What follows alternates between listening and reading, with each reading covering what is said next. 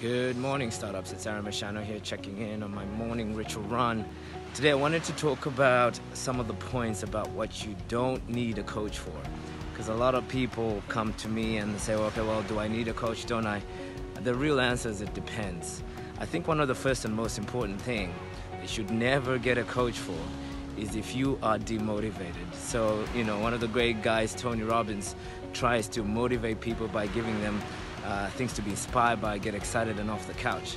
This is great, but at this stage, if you need motivation, you don't need a coach. Why? It takes a while to build this momentum, be sustainable, so you can get results. So until you work out your motivation issue, don't get a coach. I really hope that helps you and saves you a bit of money. Take care, guys.